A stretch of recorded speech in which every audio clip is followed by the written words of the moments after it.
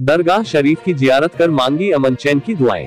सरवार में कांग्रेस सेवादल नागौर के जिला उपाध्यक्ष हनान अली कुरेशी ने गुरुवार को सरवार स्थित सूफी संत हज़रत ख्वाजा फखरुद्दीन चिश्ती की दरगाह की जियारत कर अमन चैन की दुआएँ मांगी। जानकारी के अनुसार इस दौरान जिला उपाध्यक्ष हनान कुरैशी ने पवित्र मजार पर मखमली चादर व अकीदत के फूल पेश कर मुल्क में अमन चैन व खुशहाली की दुआएँ मांगी। इस अवसर पर श्री कुरेशी के साथ मोहम्मद फैयाज नेवरी, प्रहलाद सिंह रावत, अब्बास अली, उस्मान खां, सूरजपाल सिंह, राजवीर, दीपेश, प्रशांत आदि मौजूद थे।